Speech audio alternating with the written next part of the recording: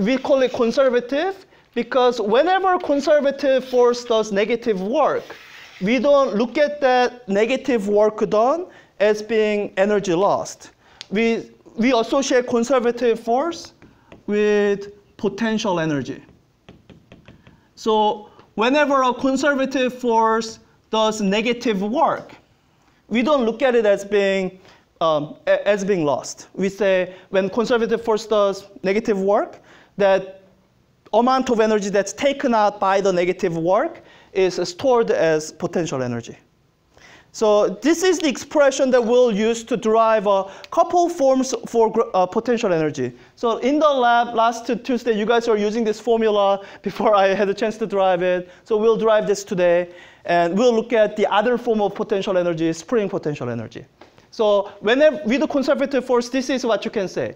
So this is a new form of energy that we are now identifying and deriving formulas for. We say that the change of potential energy is given by the amount of work that's being done by conservative force. So I would call this negative work done by conservative force. Does it make sense that there's a negative sign here? Yeah, when a conservative force does negative work, does do you, potential energy increase or decrease? Increase, right? So when this is negative, I want the change to be positive. That's why there's a minus sign here. So you could uh, write this out as the change in the potential energy is the negative of the conservative force, dot product with the change of position.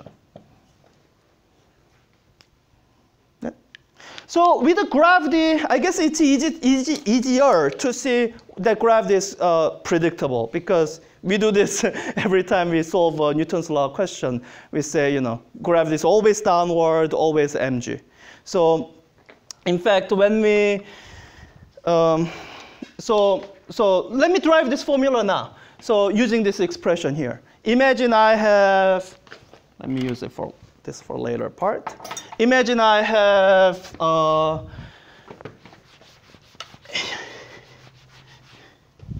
imagine um, let me give you a slightly more interesting scenario. Imagine I have a slope where I'm raising um, a block is somehow being moved from this lower position here to a higher position here. Somehow it's being moved up here. So the block starts out at some height. Let me call this initial height height equals zero, just to make it easy for myself. Right? No reason to introduce unnecessary numbers. And when the block goes up here, let me say this final height is um, um, capital H. Yep. So so this is a situation that we know how to analyze. Um, if a block is moving somehow from here to here, then uh, let me make things easier to think through and say that it's uh, almost at rest every single time. Like it's not moving up the hill because I gave it, gave it an initial push and, let and then let go. Um, it just you know starts out at rest, and I'm just pushing it up slowly, so that slowly it reaches the top here. So, you know, when you think about the situa situation, visualize it, what you should realize is that there must be at least two forces acting on it. Right? Yes? Because there's gravity pulling it down, mg. If that's the only force acting on it, then like it's gonna move downward, right? What are the other forces acting on this box? Normal. There's normal force, but if you when you draw the normal force, that's not enough. Because if all, these are the only forces acting, it'll slide downward. So what else is there? Yeah, there's applied force. So I must be applying some amount of force to make this block slowly slide upward. So there's all this picture in the background, but what I want you to pay attention to right now is the work being done by gravity. How much work is being done by gravitational force? So um, I guess the easiest thing to do is actually just go through the math and calculate it. So, um, so we want to calculate this expression here, dot product between the conservative force, gravity, and the displacement. The displacement vector here would be something that looks like this. This would be my displacement vector. Let's just try applying the definition here and see what we can get. So to apply the definition here, let me uh, copy the figure into clean area here so that I can, clean area here so that I can label things better. So gravitational force vector, mg is downward. Uh, displacement vector, it's going this way. Let me label a couple other things that, uh, that really should have been specified in the question. Somebody should have told you this angle theta, and somebody should have told you, well, I guess that's it actually. Yeah. So um, to label that angle theta here, I need a horizontal here, and this would be theta. And so this is what the definition tells you, that the work done by, uh, work, work done by force of gravity, that work done by gravity is equal to force mg as a vector dot product with the displacement. All right. Um, I guess there are different ways to do it. Let me just try using uh, applying the definition just to straightforward. Like it says, you know, that uh, uh, mg cosine theta. So let me just uh, do that um, mg, so that's the magnitude, times the distance, delta x, times, when it says cosine theta, is it this theta that it's talking about or a different angle? Different angle, right? It's talking about uh, this angle here. Angle between the two vectors. So let me use a different symbol for this, phi. So it's uh, mg delta x times cosine of phi. I want to express this in terms of theta. Um, in the interest of time, let me do this uh, using some numbers. So you can use angle addition formula to do this purely algebraically, but I think it, I can illustrate my point better if I use uh, specific numbers. So let me do that. Uh, let me make the numbers easy for myself. I'll say theta is equal to 30 degrees. Um, that will also mean a couple of things uh, because it's a special 30 degree angle. Height h is equal to delta x over 2. Like, I have those nice numbers. So, um, so if theta is 30 degrees, what's a phi?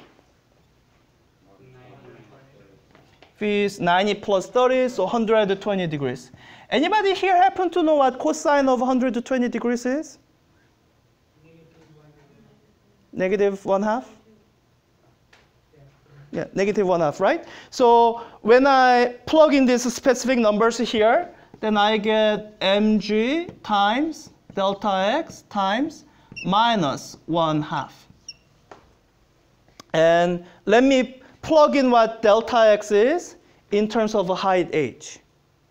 So delta x in terms of a height h is mg. So it, I have expression here. So it'll be 2 times the height times minus 1 half. So for this particular value of angle that I have used, the expression you end up with, work done by gravity in this situation, is equal to minus mgh. And what I will state without proving it, to prove it, you have to use the angle addition formula, is that this relationship will be true no matter what angle you use. And this is actually one of the properties of dot product that I didn't have time to get to on Tuesday. The dot product takes the projection of the vector. So when you take the dot product between this uh, displacement vector and this vertical vector, the component of displacement that matters is the vertical component. It's this vertical component that matters, and um, And it, you know, that's just the height h. And it works for all other angles that you might use.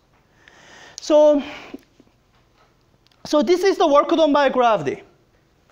You use it here to drive the change in potential energy uh, due to grav change in gravitational potential energy.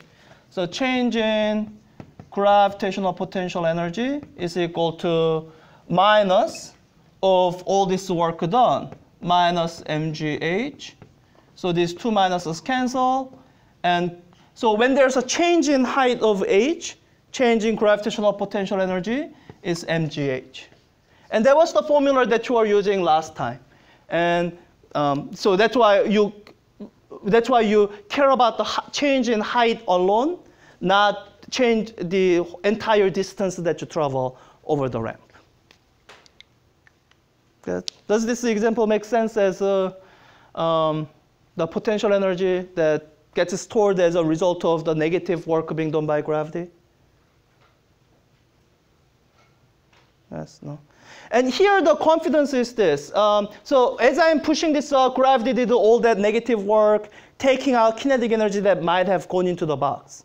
The confidence here is this. When I let go of the box, then the box will roll down on its own. So to give you an actual physical example, I have this ramp. So when I have this incline of the ramp, so as I was, as I use, apply a force to push this up, without gravity, when I'm applying force, it would have accelerated upward. But because gravity was constantly pulling it down, it didn't gain all that kinetic energy. So even with all my push up here, it ends up with zero kinetic energy. But this is the confidence I have from the fact that gravity is a conservative force. That when I let go of this hand, gravity will continue to act, and it will turn the energy that, the potential energy that's here into kinetic energy. So I don't have the confidence with the friction. With the friction, if as I was pushing, friction took out all that energy of you know, work that I'm doing, so it gains no kinetic energy. I don't have the confidence that when I let go of my hand, friction will snap it back to where it came from. Like friction doesn't do that. So that's the key distinction between uh, conservative force and a non-conservative force like friction. And so when you are dealing with a conservative force, you calculate the work done, and you say that gets actually stored into this form of energy because you think you are going to be able to get it back. It's a difference of you know, lending money to a friend who's never paid you back versus uh, depositing your money into bank. Like when you deposit into bank, you think you're going to get it back. So it gets counted as your net worth. But if you're lending money to someone who's proven unreliable, then like you don't count it as your net worth because you don't think you're going to get it back.